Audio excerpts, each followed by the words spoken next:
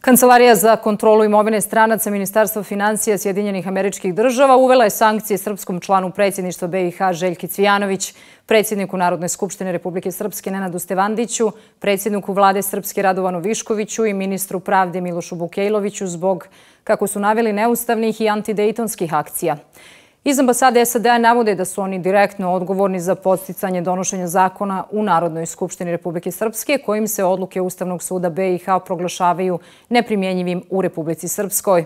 I Srpske odgovaraju, nikakve sankcije niti prijetnje neće spriječiti da radimo svoj posao i štitimo ustavnu poziciju Republike.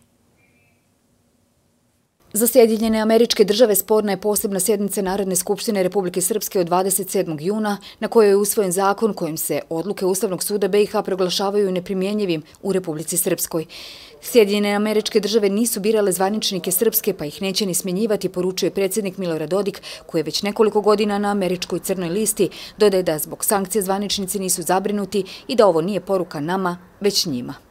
To će unijeti dosta promjena u živote ljudi, ali neće Republike Srpskoj ništa posebno nanijeti. Oni žele da promijene nas i da dođu neki koji će šutjeti, koji će samo ono govoriti što on žele, mahati e, glavom, odobravati i da bi se jednom iznenadili svom nestanku, koji vjerovatno ne žele da vide da dugo traje. A Republika Srpska je stvorena da traje, ona nije stvorena da nestane.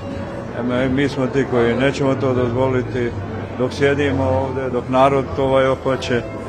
Nas nije bila, nije bila, bila, birala Amerika, neće nas Amerika ni razrešavati.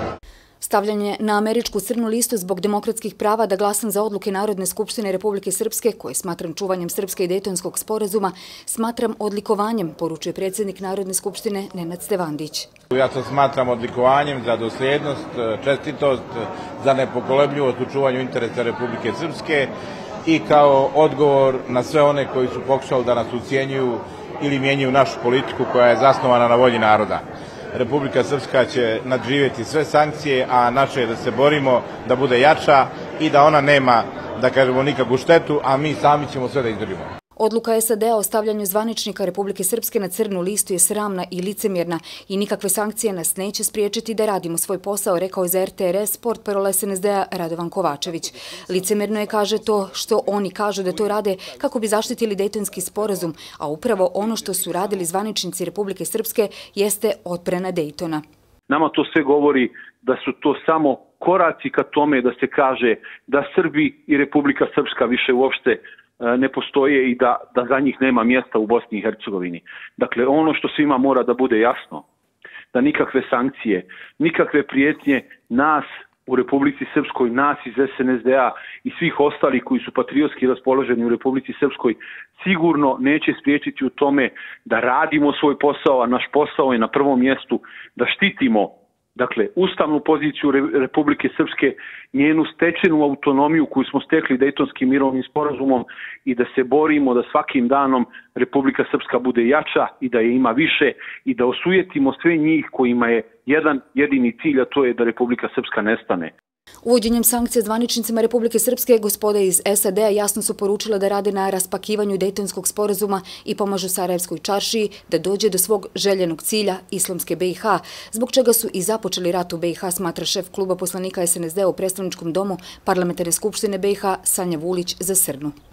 Velika sila prosipa veliku silu nad ponosnom Republikom Srpskom i njenim ponosnim zvaničnicima koje je sankcionisala. Amerika je navikla da porobljava i kolonizuje svaku zemlju koja ne radi u njenom interesu, tako da ne čude ni ove, a ni eventualne buduće sankcije Srbima i Republici Srpskoj. Podsjetimo, Narodna skupština usvojila je zakon o neprimjenjivanju odluka Ustavnog suda BiH u Srpskoj kao odgovor Ustavnom sudu BiH koji je izmijenio pravila rada i odlučio da sjednice mogu zakazivati i odlučivati bez sudija iz Republike Srpske. Odluke Ustavnog suda BiH neće se primjenjivati na teritoriji Srpske sve dok parlamentarna skupština BiH ne donese zakon o Ustavnom sudu BiH bez stranih sudija.